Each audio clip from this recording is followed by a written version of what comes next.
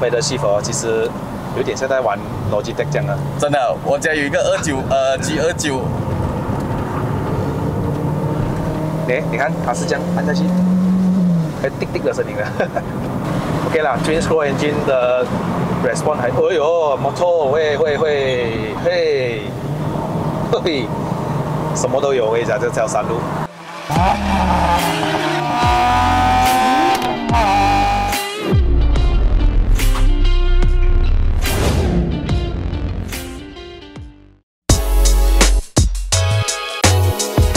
Hello，大家好，又是 Ed 来的人，不是一个 shopping，只是不 V 了。欢迎回到了我的频道，欢迎回到来 POV 跟定帅试驾系列啦。上个影片呢，我开了 p e r j e 508来到云顶山脚，等下我们就把它开上云顶去看一下法国的浪漫 D segment 的操控跟它的这个动力会是怎么样啦。首先这个车呢，它是一具1.6公升的涡轮增压四缸引擎，它拥有着156匹马力，还有240的牛顿米，它配搭着爱信的六速的变速箱，它的悬挂设置前面是麦花臣，后面是一个多连杆的设置。很多人讲法国车的操控不错，是不是？等一下我们试一下就知道了。在这个影片还没开始之前呢，希望还没订阅我的朋友们呢，记得按下订阅，那我更新影片的时候呢，你们才可以及时收到通知。好不多说我们上山，Let's go。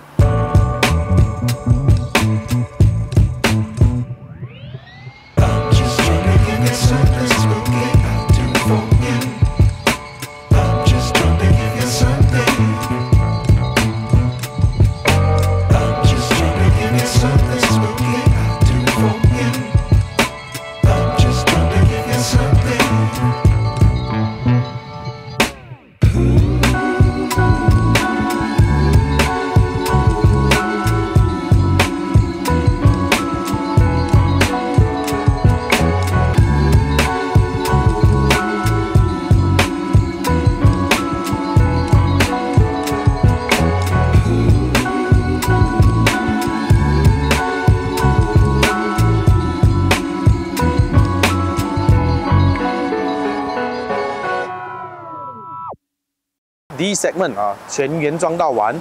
那先说一下，这次用的轮胎是 PowerTrack 的 Racing Pro 二三五四十五十八寸，避震器啊全部都是原装的，动力也是原装，没有 remap 过。那我们车里面有坐着车主李胜，还有他的朋友，那他在后面我们有三个人，那他今天就会冲上云霄的。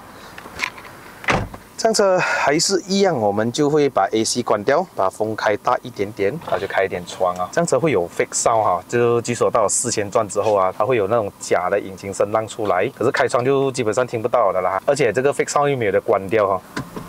我们切换到 M M 就是哦，我一直习惯摆右啊，它是左边的，然后我们去 Sport mode。哦，所以 M M 就没有就没有 Sport mode 了哈，它是哦，它是变速箱来的。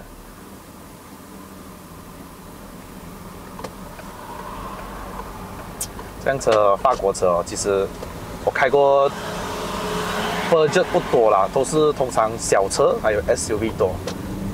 可是他们说法国车的这个操控是不错的哈，所以我们也是第一次驾它这个，我觉得蛮帅气、蛮好看的这个车款上来，而且还是一个低身门。这辆车它配搭着一个1.6公升的涡轮增压四缸引擎啊，Twin Scroll Engine 啊，双涡流，它不是双涡轮啊。然后它原理是跟 BMW 一样的，所以它 double lag 的情况是是比较少的。可是重点是啊，我们看一下它的五千五转之后，看它动力会不会没有这么饱满。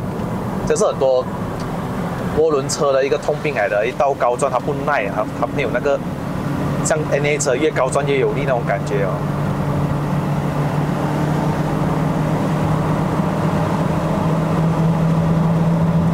五千转了，嗯，有一点点了。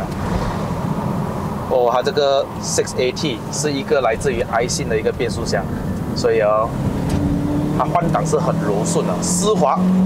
看它会不会自动升档。六千二自动升档。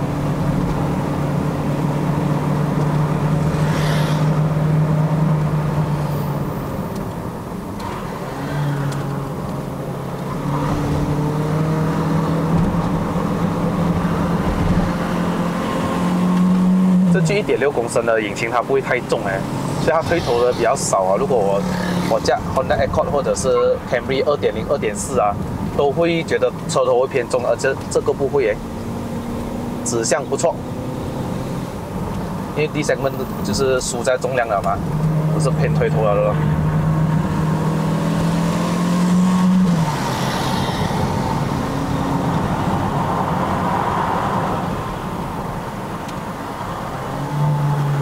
我有 Honda City，哈哈，哦，声音响哦。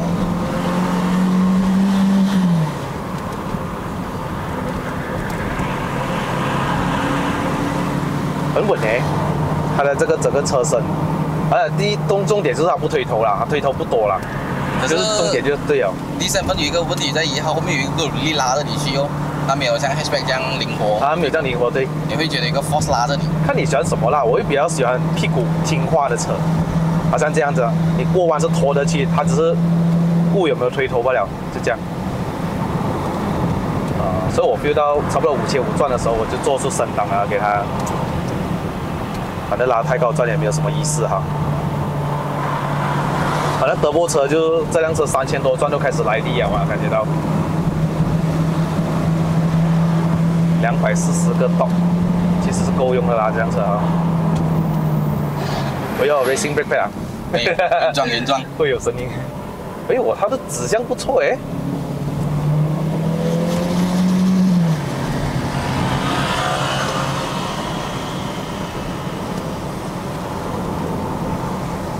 哇，摩托也跟人家学。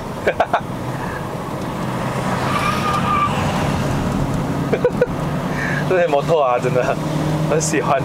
你打雷信赖还没有看车是吧？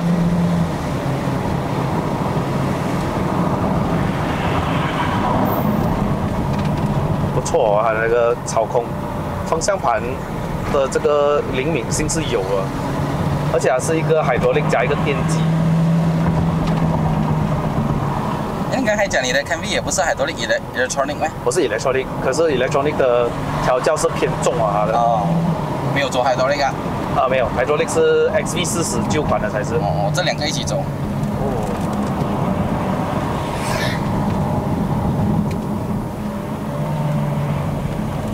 很奇怪哦，他们应该是做工的人来啊，每每一个做摩托上的嘞，省啊，神哦。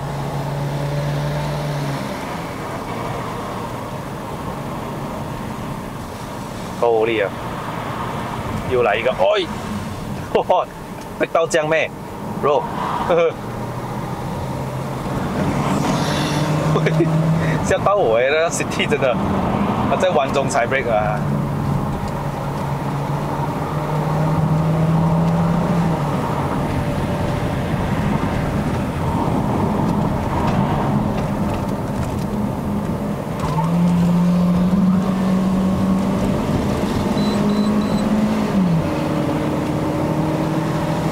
么你会想要拿这辆车下一次升棒啊？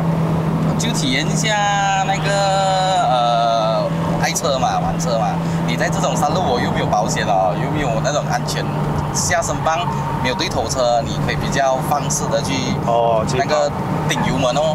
然后你玩的你也会比较觉得尽兴哦。再加上不是每个国家都有赛道嘞，尤其是 F1 赛道，马来西亚有哎。可以去体验一下哈、是啊，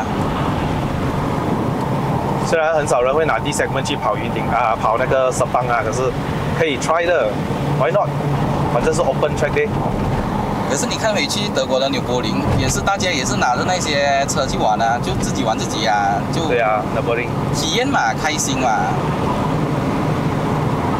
喂，说回来，它的这个操控哦，让我惊艳到是，他不会觉得那个车很重哎，尤其是屁股那方面，他不会太拖累了。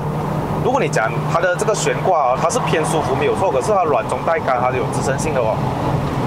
如果你加关呃日系车的话，你会感觉到日系车还是，对，就是玻璃肉啊，车情蛮严重的。我终于知道为什么要用一点六公升了 t u 因为它不要弄那个引擎这么大力哈。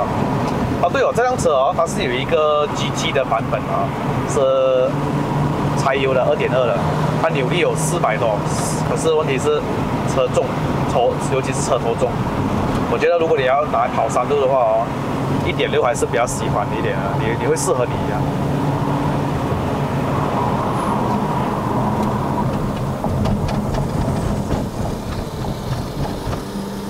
山路三零八适合哦，约 hatchback。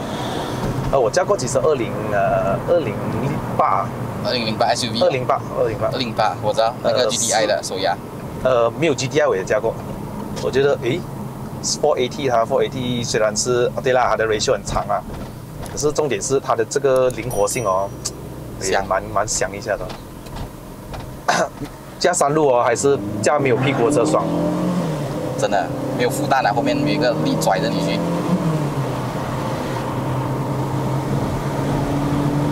这样子还可以看这个油温，除了油温，水温也是可以看。好，Thank you，Thank you，Thank you。OK 啦，Twin Scroll Engine 的 response 还，哎呦，摩托会会会嘿，嘿，什么都有，我跟你讲，这条山路，头盔你都有，什么人都有的。哦，它的这个降档的时候，它会有好像 memory 这样的。当它不给我降的时候，它不要降；但是等到可以降的时候，它就会哦，刚刚你是不是要降档是？哦，降档给你，它这样子。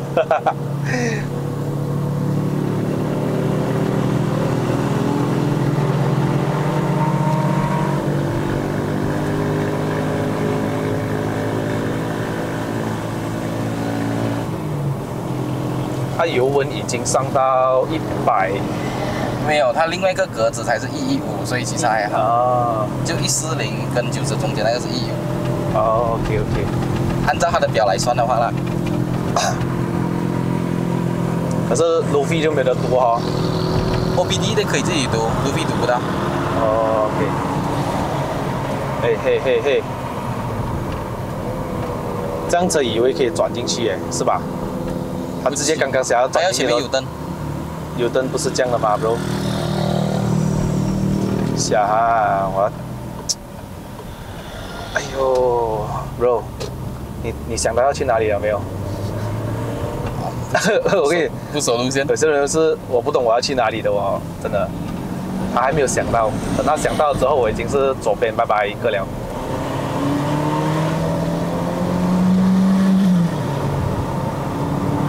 他的贝德西佛其实有点像在玩 Logitech 这样的，真的，我家有一个二九呃 G 二九，哎，你看它是这样按下去，还滴滴的声音的。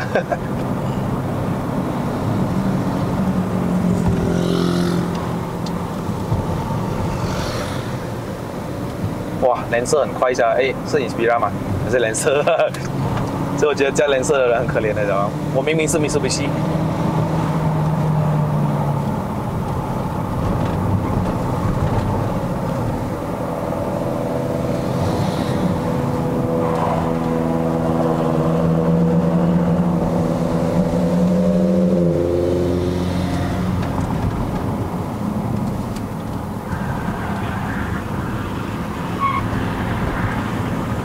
哎，not bad 哦，推头的几率少一点，不是我加惯的 D segment 的感觉。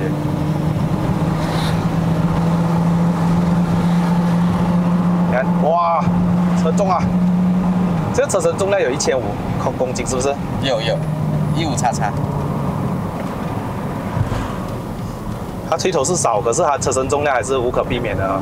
后面是一个毛迪令，至少可以拉着它一下。也就这两毛的零嘛，剩下的都是拖全面了。是咯，那些小车啊，那些它的 SUV 很喜欢用 torsion beam 的嘛，没有法国啊，法国的拖全面调教，是不错的啊，是不会输到哪里去啦。OK 啦，这辆车两万多块，性价比高了，我觉得。排除那个不要讲修的那方面先了哈。哎呦，最斜的山坡来了，其实最斜的山坡德波就是优势了。你看我们有德波，那，动力是可以直接拉上去。如果是像我们驾到 NA 车的时候哦，你就是要硬硬要四千转啊，那个动力才来。所以呃，当时你买车的时候会有考虑到 K5，可是 K5 它是一个 NA 哈，哎呀，一百零七度了。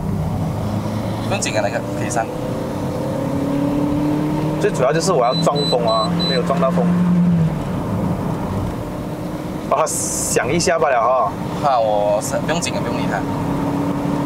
可是这个水温它只是指向了九十度以上，它就没有再看到是水温多少了，好哦。它切到红色的话就会亮灯，说明水降血啊。哦，OK。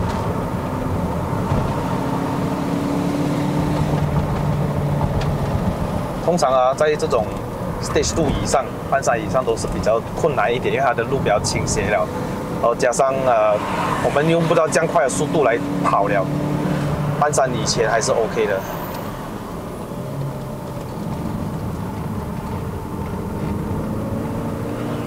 呃，这样子有 oil cooler 哦，原装。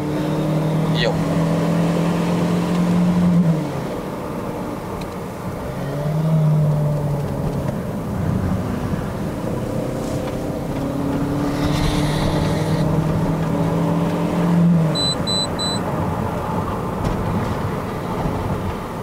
呃，要去哪里呢？OK，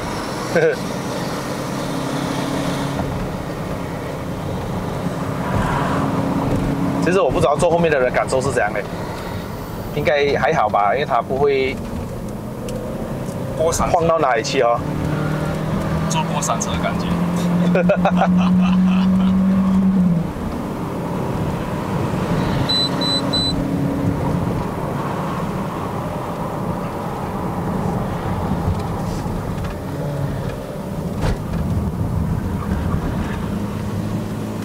德国车的优势，这边是很斜的地方。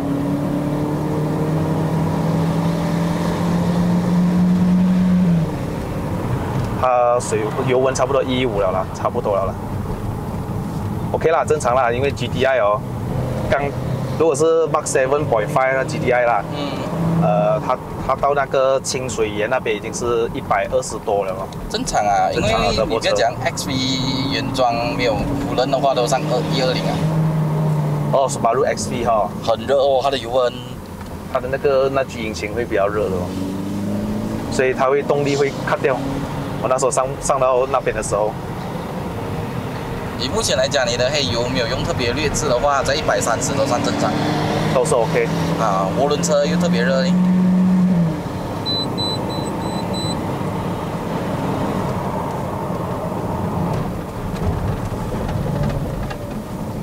OK 啦，这次拿到一个法国的 D segment 的体验了啦，是不错的哈、这辆车。如果今天你有心要买这辆车的话，我是蛮推荐买的，排除不要说不好踩那种修理啦哈。自己找但专修啊。啊，你要你要会有专修这这个系列车的人啊。可是你一修了之后呢，再站这个十年，可以吗？基本上它的变速箱是 OK 啦，不会听到有什么压箱问题啦。那个，哇，那个要塞到，然后切切回去地就这样了哈，bro，来到顶了啦，安全。因为它不是 Foxway 跟 Das Auto。呃，坦白说，我跟你讲，我开了这么多德系车里面啦，啊其实让我最怕的是 Foxway 跟，真的哦。尤其是比较十年的车这样子，哦我也怕。因为我之前真的是有试过阴影啦哈，就是刚好不好踩 block coil 烧掉一粒啊，不然就是出 check light 啊，然后 miss fire 啊，spark plug 坏啊，这样子哇。也是刚好啦，不好踩啦。这辆车是我第一次接触到这个 Power Track 的 Racing Pro，因为我看到很多那些安哥啊、奔驰啊，他们很少来跑云顶那种，他们就拿来用，也是他们的 UHB 里面，而且一条不贵哦。你这辆二三五四十五十八多少钱一条？三条千二，这么讲三条嘞？四条，三送一，千二块给一个十八寸，一二五零。也 OK 嘞。刚刚换不久是吗？对，换不久，在跑在五千里面了。可是已经上过金马轮，又上过云顶两三次，又上过发展。它的轮胎在这辆车其实是够用的。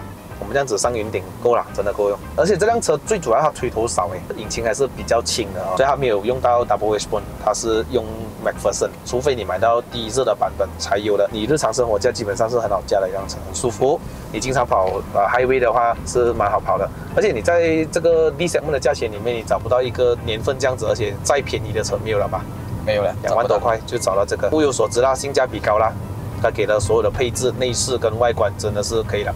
那如果你还有一点预算的话呢，会比较建议买那个比较新款的小改款，因为它的1.6公升的那个马力会大一个十十多匹。主要是有后面三车，呃，后面 camera 啊。哦，对了这，辆车大车没有盲点很多啊。哦对了，这辆车没有 reverse camera 哈，没有，只靠三车。重点。重点，这房车来讲，应该至少都要需要一个后面啊，三六零当然是最好的哈，因为我们这个盲点很多，尤其是我们坐矮，我们看不到下面这边有什么东西呀、而且车又这么大量哈，车头我都看不到了现在。如果你硬硬要拿来比的话，其实马自达的操控会好一点点，因为马自达比较偏硬朗嘛，尤其是马自达 CX 二点五，它是一个十九寸，更加厉害。开这种车就是需要一些定时换一些东西，不要不能 last 等坏哦 minute 啊，不要等 last minute。日系车还可以等一下，